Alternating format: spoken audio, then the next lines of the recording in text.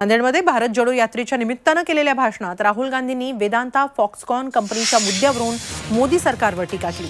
जसे पंधरा लाख गायब झाले तसेच राज्यातील उद्योग गायब होत असल्याचा टोला राहुल गांधींनी आपल्या भाषणात लगावला. या जाहीर सभेपूर्वी राहुल गांधींचा सत्कार करण्यात आला. राहुल गांधींना शेतकऱ्यांचं प्रतीक म्हणून बैलगाडी भेट देण्यात आली. मित्र हो महाराष्ट्र गीता ने छह साल हो गए. काला धन गायब हो गया. खत्म। बाय बाय ना? काला धन बढ़ गया।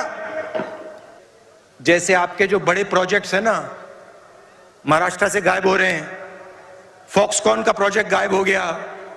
एयरबस का प्रोजेक्ट गायब हो गया। वैसे ही पंद्रह लाख पंद्रह लाख गायब हो गया। खत्म। लाल मातीतली कुस्ती Orange.